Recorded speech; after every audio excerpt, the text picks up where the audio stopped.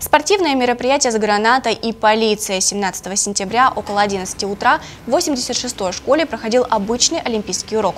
Неожиданно к звукорежиссеру подошел 44-летний мужчина, который стал угрожать предметом, который похож на гранату.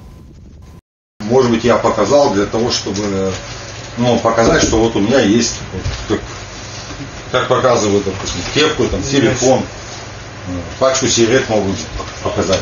Зачем ты носишь ее? А, Для того, чтобы я а, обеспокоен, Как- приобрел с телефона, Как давно ты ну, полгода назад, год назад. Это я- макет? Да, это макет.